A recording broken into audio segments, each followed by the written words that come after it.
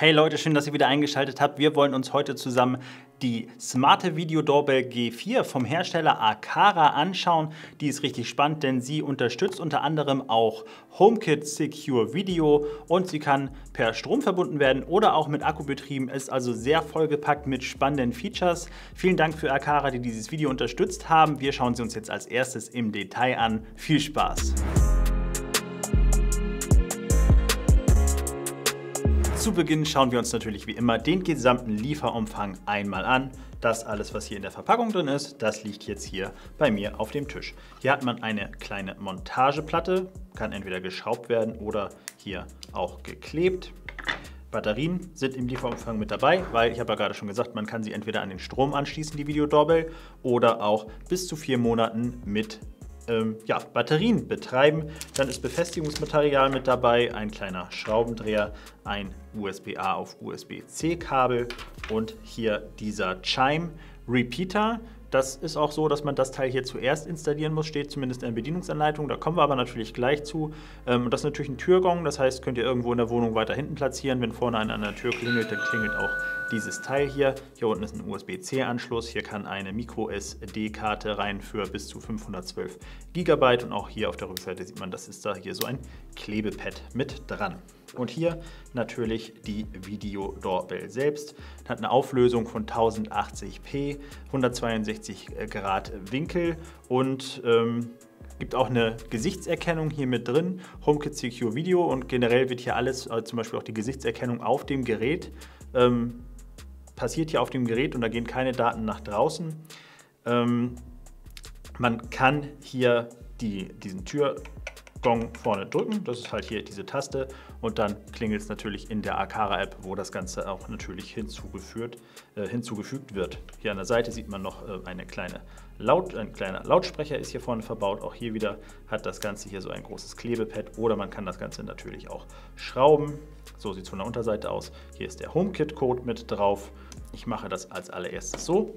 Ich werde jetzt einmal das Ganze installieren. Die Installation zeige ich euch selbstverständlich auch einmal und werde das dann darüber moderieren, um zu zeigen, wie gut das funktioniert, ob ich da irgendwie auf Probleme stoße. Wenn das Ganze installiert ist, dann probiere ich das Ganze auch ein bisschen länger aus. Danach spreche ich äh, über die Funktion, das heißt, ich werde euch gleich die App zeigen, welche Funktion man hat, wie, das gut, wie gut das Ganze funktioniert, werde dann natürlich auch meine Erfahrung mit einfließen lassen. Zum Schluss noch mal kurz meine Meinung. Jetzt geht es aber direkt mit der Installation los. Die Installation der Video Doorbell ist wirklich schnell und einfach erledigt. Es startet alles mit der Inbetriebnahme des Chime-Moduls. Das wird einfach per USB-C mit Strom versorgt. Ein Kabel ist mit dabei im Lieferumfang, aber leider kein Netzstecker, den müsst ihr euch dann noch selber besorgen. Ja, das Ganze wird dann einfach in die Akara-App eingerichtet. Das geht wirklich schnell und simpel, funktioniert dann auch über den HomeKit-Code, hat bei mir sehr einfach funktioniert. Und wenn man das gemacht hat, dann braucht man einfach nur noch die mitgelieferten Batterien in die Video Doorbell selber einlegen. Ich wollte das Ganze ja auch eben batteriebetrieben bei mir installieren. Dann sind die vorab miteinander gekoppelt worden. Das heißt, man braucht da nicht mehr die Geräte miteinander irgendwie verbinden, sondern die sind dann direkt verbunden. Danach geht es dann einfach direkt an die Anbringung der Videodoorbell. Da kann man sich dann entscheiden, ob man das Ganze per Schrauben befestigen möchte. Ich wollte das Ganze natürlich einfach kleben und das habe ich auch gemacht. Vorher einmal kurz abgemessen, auf welche Höhe. Das soll so 1,40 bis 1,50 hoch, damit man dann auch immer den richtigen Blickwinkel hat und auch die Gesichter im Blick hat. Und äh, ja, einfach hinten die Klebefolie abziehen, darauf achten, dass das Ganze gerade angebracht ist, andrücken und das hält dann wirklich bombenfest. Ja, das war das tatsächlich schon alles. Das, was danach kommt, das wird alles in der App erledigt und was man jetzt alles so für einen Funktionsumfang hat und was man in der App alles machen kann, das zeige ich euch im nächsten Schritt.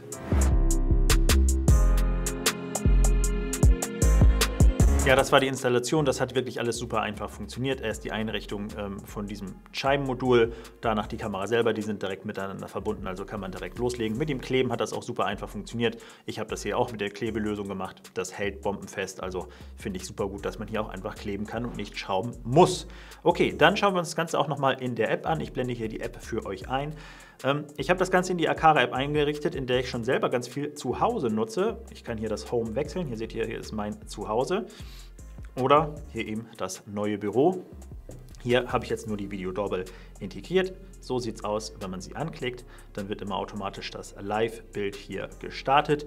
Die Videoqualität, muss ich sagen, die ist vollkommen in Ordnung. 1080p, das ist jetzt nicht die allerbeste Qualität. Ich sag mal, jedes Smartphone nimmt wahrscheinlich ähm, Videos in besserer Qualität auf, aber es langt vollkommen, um wirklich deutlich zu sehen, wer vor der Tür ist. Auch nachts mit dem Infrarot funktioniert das. Je schlechter die Lichtqualität ist und bevor es in den Infrarotmodus überspringt, ähm, desto krisseliger wird das Bild. Aber ähm, ja, tagsüber, gerade wenn ihr es in der Haustür ausnutzt, kann man da wirklich super alles erkennen. Also für mich eine vollkommen ausreichende Qualität. So, jetzt möchte ich euch einmal zeigen, was man hier generell machen kann. Ihr seht generell oben Signalstärke und auch die Batteriestärke, gerade natürlich wichtig, weil ihr ja auch möglicherweise wissen wollt, wie lange das Ganze über den integrierten Akku hält. Ich kann dazu noch keine Erfahrungswerte wiedergeben, weil ich habe die Kamera jetzt erst ein paar Tage hier im Einsatz. Hier unten seht ihr, was hier wann alles passiert ist und ihr könnt direkt so über dieses Telefonsymbol mit der Kamera sprechen, könntet aber auch hier einen Snapshot machen.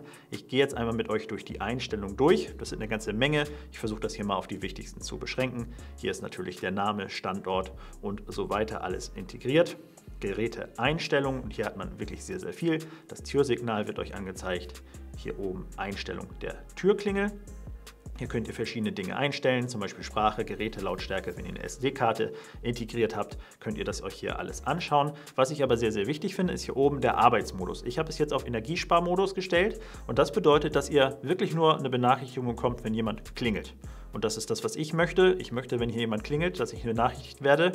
Ähm, der gewöhnliche Modus, der macht dann auch alle anderen Dinge, ähm, ähm, aktiviert diese, wie zum Beispiel auch eine Bewegungserkennung. Wenn einfach jemand an der Tür vorbeigeht, kriegt er auch eine Push-Mitteilung und die Kamera nimmt das Ganze auf. Das möchte ich in meinem Fall jedoch nicht, weil das ist halt hier ein Bürogebäude. Hier sind auch andere Büros und die möchten nicht unbedingt vielleicht, dass ständig, wenn die dran vorbeilaufen, dass ich das immer speichere und Mal davon abgesehen ist es wahrscheinlich in Deutschland, ich bin da nicht äh, ein Rechtsberater, aber mit Sicherheit ist es auch nicht erlaubt, einfach generell jeden überall zu filmen und das auch zu speichern. Deswegen habe ich das so eingestellt, dass nur, wenn geklingelt wird, ich eine Benachrichtigung bekomme. So, gehen wir zurück. Hier könnt ihr den Klingelton einstellen. Hier gibt es verschiedene Klingeltöne voreingestellt. Oder ihr könnt auch eigene hochladen, wenn ihr das möchtet. Könnt die Lautstärke einstellen. Bei den Videoeinstellungen könnt ihr das Wasserzeichen aktivieren, eine Lens Correction, die Infrarot-Nachtsicht könnt ihr auf automatisch stellen. Privat, äh, Privatsphärenmaskierung ist auch wieder sehr interessant. Da könnt ihr dann halt eben Bereiche ausgrauen, ne, wie zum Beispiel hier Türen, die nicht zu euch gehören, um dann dementsprechend den Nachbarn zu schützen, seine Privatsphäre zu schützen, könnt ihr hier so eine Maskierung einsetzen, wenn ihr das möchtet. So, was ist noch wichtig? Äh, wichtig, Gesichtserkennung. Die Kamera kann verschiedene Gesichter erkennen und kann euch dann nicht nur sagen, da ist jemand an der Tür, sondern dass da jemand Bestimmtes an der Tür ist. Könnt ihr machen. Ähm, Erkennungseinstellung. Hier könnt ihr sagen, worauf die Kamera reagieren soll. Gesichtserkennung, wenn sich jemand etwas länger auf der Tür, vor der Tür auf, aufhält, wenn jemand an der Tür klingelt oder eben auch, wenn jemand versucht, die Kamera gewaltsam zu demontieren. Verknüpfte Geräte könnt ihr hiermit steuern, wenn ihr eben möchtet, dass ihr mehrere AKA-Geräte habt und möchtet, dass wenn jemand an der Tür klingelt, dass irgendwas anderes äh, damit reagieren soll, könnt ihr das hiermit auch machen. Ähm, ja, ansonsten gibt es hier keine mehr so wichtigen Optionen, die wichtig sind. Aber diese Kamera ist ja auch so besonders, weil sie eine HomeKit-Videodoorbell ist und meines Kenntnisstands nach immer noch die erste, die HomeKit Secure Video unterstützt. Einfach nur mal, dass ihr das gesehen habt. So sieht das dann in HomeKit aus. Ähm, wichtig ist, dass ihr, wenn ihr das Ganze in HomeKit nutzen wollt und dann auch von unterwegs, also nicht nur aus dem eigenen WLAN, auf die Kamera zugreifen wollt, dann bräucht ihr halt eine Steuerzentrale, wie zum Beispiel hier bei mir ein HomePod Mini, den ich hier hinten hingestellt habe, oder ein Apple TV. Und dann könnt ihr auch aus der Ferne darauf zugreifen. Und dann könnt ihr natürlich Automationen mit ganz, ganz vielen verschiedenen HomeKit-Geräten hier auslösen. Und ihr könnt halt eben auch den gesamten Videodatenkram auf der Apple Cloud, also eurer Apple Cloud speichern und nicht irgendwelche Akara-Server schicken, wenn ihr das nicht möchtet. Ihr braucht aber für mindestens die 50 GB das Abo bei Apple. Dann könnt ihr eine Kamera integrieren. Bei dem 2 Terabyte Abo könnt ihr dann so viele Kameras integrieren, wie ihr das gerne möchtet. Ja, hier kann man das dann eben sehen. Und hier könnt ihr auch ganz viele verschiedene Dinge einstellen, wie man das eben von HomeKit-Geräten gewohnt ist. Ja, das sind halt jetzt meine Erfahrungen, die ich bisher gesammelt habe. Es hat auch wirklich sehr gut alles funktioniert. Also wenn jemand an der Tür geklingelt hat, habe ich die Nachricht bekommen, konnte sogar auf meiner Apple Watch diese Nachricht äh, sehen, dass da irgendjemand klingelt. Dann muss man halt die App öffnen, was ich da ein bisschen, naja, nicht schade, aber man muss halt zusätzlich auf diesen Klingel, auf den Telefonknopf hier drücken, damit man dann auch wirklich mit der Person sprechen kann. Aber insgesamt hat hier wirklich alles sehr, sehr zuverlässig funktioniert, dass es eben ohne Verdrahtung möglich ist. Mit integrierten Akkus ist, also nicht mit integrierten Akkus, mit Batterien, die man einlegen kann, finde ich richtig cool. Und dann sprechen wir nochmal kurz über meine Meinung zur Akara G4 Video Doorbell.